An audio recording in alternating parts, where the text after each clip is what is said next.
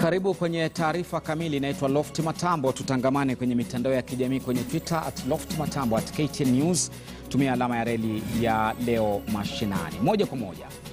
Sasa wacha tukupeleke katika jumba la ufungamano ambapo viongozi wa dini mbalimbali wanakutana ili kujadili hali ya kuabudu siku moja tu baada ya Rais Uhuru Kenyatta kulegeza masharti ya maeneo ya burudani na masaa ya kafyu kutoka saa tatu hadi saa tano usiku. Moja kwa moja tuvuke kule.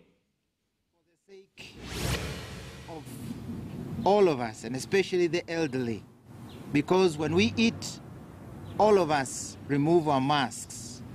We plead that no food should be served at funerals. The body, five, the body will be transferred straight to the place of the service. Six, we must recover the meaning of the funeral as a prayer gathering and not a political, status, or public spectacle platform. Funerals must return to be funerals. Weddings.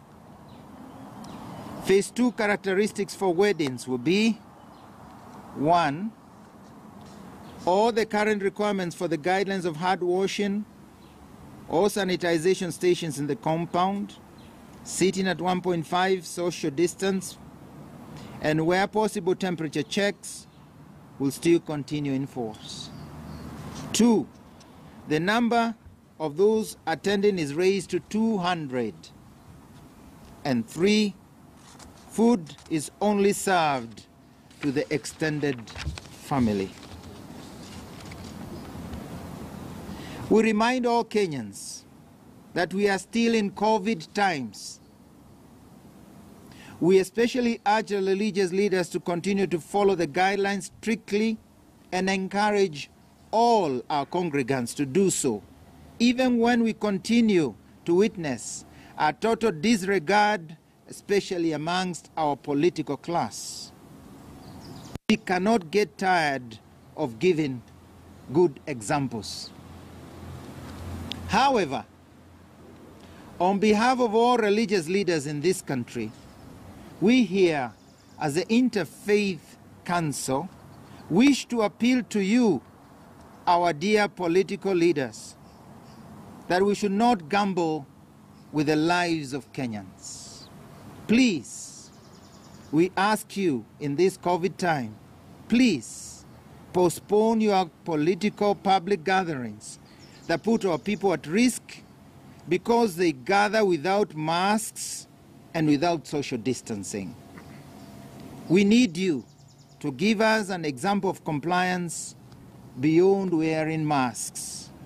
Consider putting all your political gatherings on hold until we are fully out of the woods in this corona pandemic.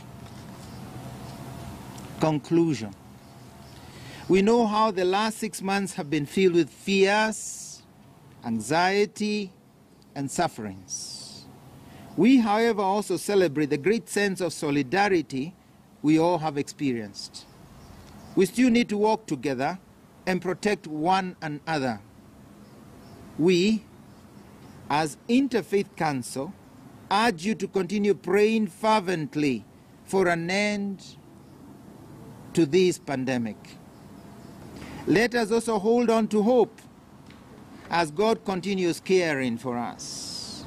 With hope, we can rise from the various situations and praying together move towards a recovery from so many blows at the financial, economic, and family levels and forge once more a better future for our children. May God continue to protect and guide our nation. May we also be responsible for the lives of our brothers and sisters. God bless you all.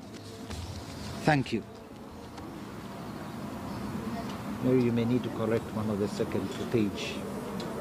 the page of. Uh. Yes, we may take. A... Na mtazamaji wanaendelea kuzungumza pale ni